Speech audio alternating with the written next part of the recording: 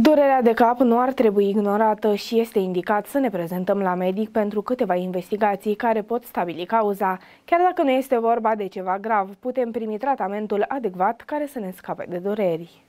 Există peste 150 de tipuri de dureri de cap conform Societății Internaționale a Cefaleei. Dintre acestea, cele mai întâlnite sunt cefaleea tensională, migrena și durerea de cap provocată de abuzul de medicamente. Una dintre durerile de cap mai puțin frecvente este cea dată de sinuzită. Migrena, de exemplu, este printre cele mai cunoscute. Durerea în cazul migrenei este de obicei pe o singură parte a capului, pulsatilă, iar de multe ori împiedică pacientul să-și desfășoare activitățile obișnuite, atât prin severitatea durerii, cât și prin faptul că se accentuează la efort. Bogdan Pană, medic neurolog, atrage atenția că migrena poate fi însoțită de greață, vărsături, iar zgomotul, lumina și mirosurile puternice pot fi foarte deranjante. Un atac de migrenă poate să dureze netratat între 4 și 72 de ore și poate fi precedat în 15-20% din cazuri de aură. Aura este de cele mai multe ori vizuală și durează 20-60 de minute, timp în care pacienții descriu un spot luminos care se mărește sau o linie luminoasă în zigzag, potrivit neurologului. Medicul neurolog Bogdan Pană face un top top al celor mai frecvente tipuri de dureri de cap.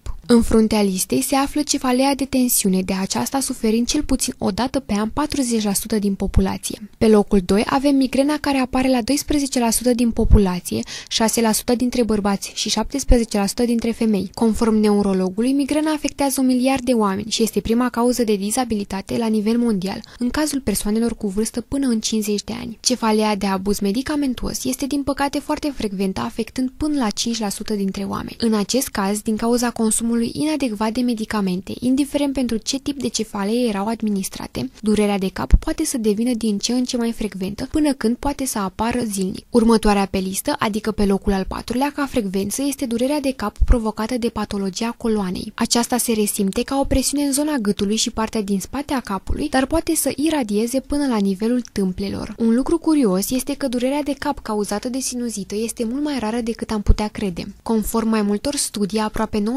dintre pacienții autodiagnosticați cu sinuzită au de fapt migrenă. Există anumite semne de alarmă care ar trebui să atenționeze atât medicii cât și pacienții. Doctorul Pană atrage atenția că ne putem gândi la o cefalee secundară potențial severă atunci când există semne ale unei alte boli sistemice, febră, scăderea în greutate. Pacientul are un istoric de neoplazie, HIV sau boală autoimună. Există semne neurologice, stare confuzională, semne de iritație meningeală, durerea de cap apare brusc sau apare la o vârstă de peste 50 de ani sau atunci când pacientul spune că este cea mai mare durere din viață. Durerea își schimbă caracterul în funcție de poziție sau dacă se agravează după tuse strănut. Durerea apare după un traumatism. Durerea de cap își schimbă caracterul față de cel cunoscut dacă doare altfel față de cum durea de obicei, relatează adevărul.ro.